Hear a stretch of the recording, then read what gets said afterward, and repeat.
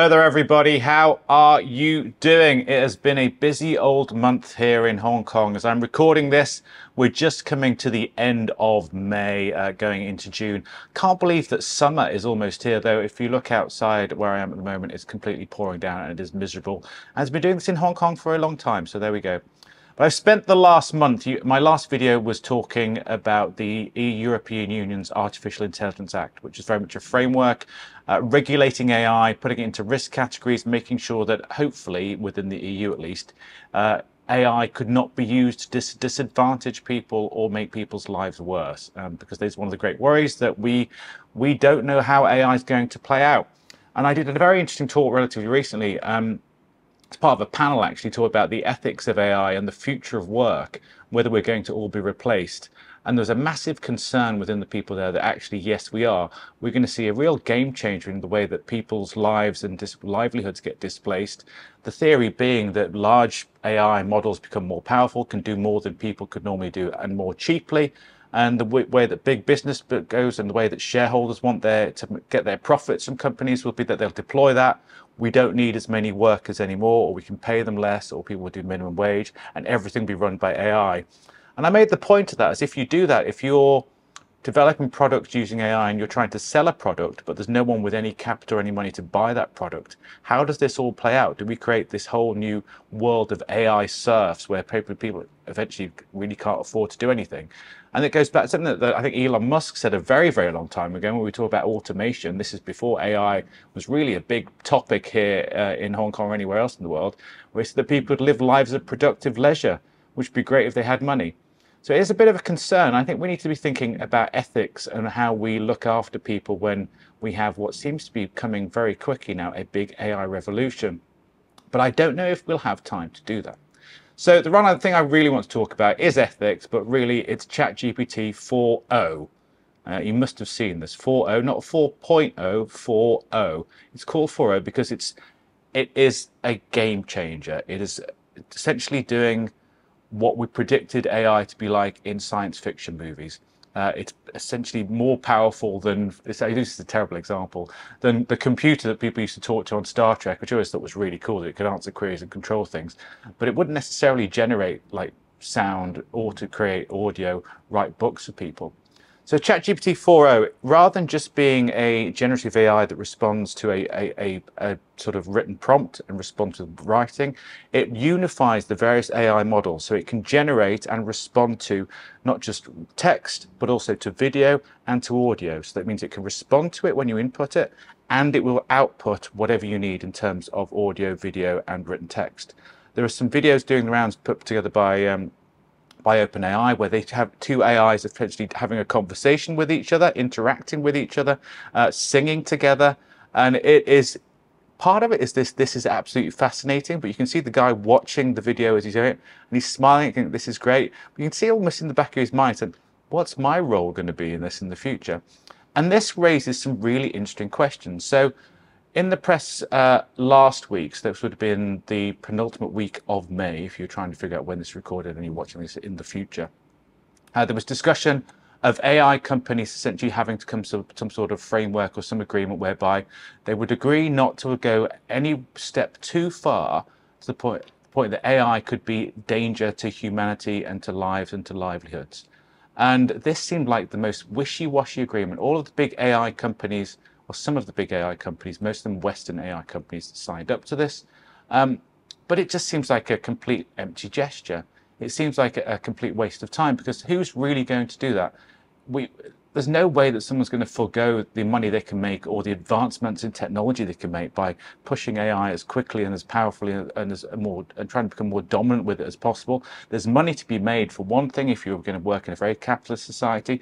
If you're someone who isn't, who just wants to gain upper hand, if you're a, a, a nation state who wants to think, well, we need more power. How can we be more powerful? You're not going to pause AI. You're not going to say, we're not going to use it. We're not going to stop that. That cat is well and truly out of the bag. That ship has sailed. The genie is out of the bottle.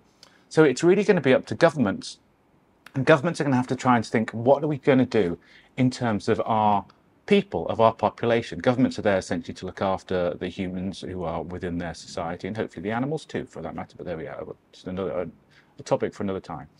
Um, And the concern, if I was a, a major politician of, of any country at the moment, seeing how AI is going to start displacing people because people are worried, very worried about the future of their work, I'd be very worried about civil unrest. I really worry that people are going to say, well, suddenly we're all out of jobs.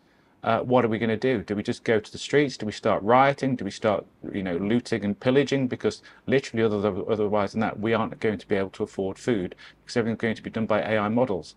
And I do worry. It's um, this is a bit of a doom mongering uh, sort of video. But the new Mad Max film is out, and it feels like we could be one step closer to living. Some of us living in this great brilliant society. We're all living in ivory towers and AI is looking after our every whim because we're very rich. Or maybe we're in space, who knows. And some of us are going to be living in the desert, fighting each other, hopefully not wearing bondage gear. It just seems to happen most of the Mad Max movies. But you never know. You can't rule these things out in the future. Who knows? That is a thought that I don't really want to go into. So what I think we really need now is, and this follows on from the EU's uh, Artificial Intelligence Act, is I think nation states need to come together what we could really do with is not just the AI companies trying to say, well, we're going to have a moratorium on what we're doing and try and pause things. We also need governments to work together. It's not good enough anymore to essentially say, well, in this jurisdiction, we'll do this, in this jurisdiction, we'll do this, and in this jurisdiction, well, we want to make sure that we're the leaders of AI. So we're not going to put any controls on it because it's going to get out of control. Whoever builds the most powerful AI is going to become dominant. It's a bit like search engines on the in, when, when the internet was coming into uh, into its own. And I think we could see some considerable civil unrest if things go wrong. People are very, very worried. Now we have elections in uh, in the UK. They've just announced a general election. I'm pretty sure the Conservative Party is going to go. Very surprised if they don't, but who knows? Who knows? Anything could really happen. We've got the US presidential election. I'm surprised that thoughts of AI and livelihood aren't part of some of the manifestos or some of the campaigns that they're running. Uh, maybe Biden and Trump are a bit too old to be thinking too much about AI. I don't know. Uh, and I guess it's just the, just the case now that the um, general election in the UK has been called.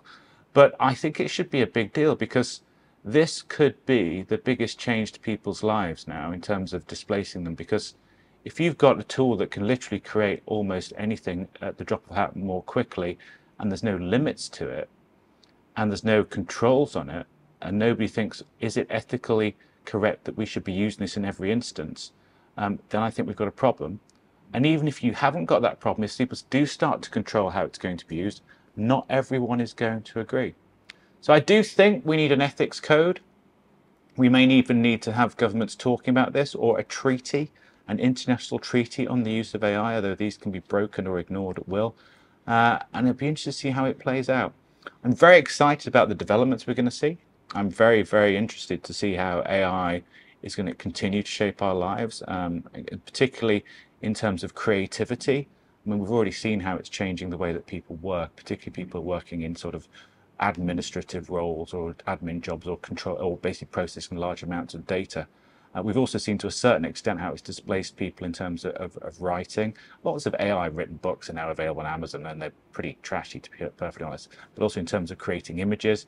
But as the things come together where you can essentially create any multimedia project using an AI prompt, create any song using an AI prompt, we'll have to see whether any controls are imposed. I think there will be calls for more controls. Um, I think it will take a while. I think we'll be a few years away. We'll have to see whether they actually have any effect. Um, I'm very, very interested in your thoughts. I think this would be a great topic for a round table to get some people to talk to, around the table to talk together. Both AI developers, people working in tech, and those working in traditional jobs, and those working in terms of making sure that people actually have enough food, enough drink, enough livelihood, essentially, to get by in life as to what their worries are. Because if I was working in a administrative job, I would have already been very worried. But now if I'm on a creative job, I'd be very worried. If I'm in pretty much any job, there's a good chance that AI would be great as a tool. But if people are trying to save money, they think, well, do we really need all these people when we get AI to do all of the grunt work and just have one or two people within our organization? So we'll see. Maybe there'll be some rule about you can't replace, uh, you can't replace, uh, it sounds a bit like Blade Runner, you can't replace people with AI, you can't replace people with replicants. Who knows? I don't think there will, though. I think we're going to see a hodgepodge of mess, and I think things could get quite nasty in the next couple of years as AI really, really takes the center stage. But we'll see. I remain optimistic. I've probably been reading too many sci-fi books, but that is it from me for now. As I said, I'm doing lots of events. I'm speaking at lots of things through um, the rest of May and June. Uh, I also might be doing some stuff in the UK, so drop me a line if you'd like me to do something with you. I'd love to if you'd like to do a talk, and uh, if you want to come to one of my events, find them on LinkedIn. In the meantime, don't have nightmares.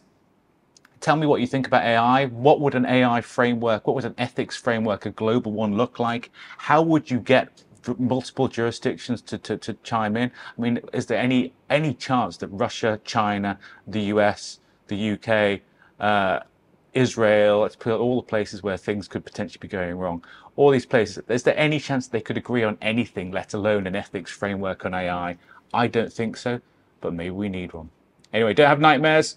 Thanks for watching. I'll be back very, very soon. Have a good one. Take care.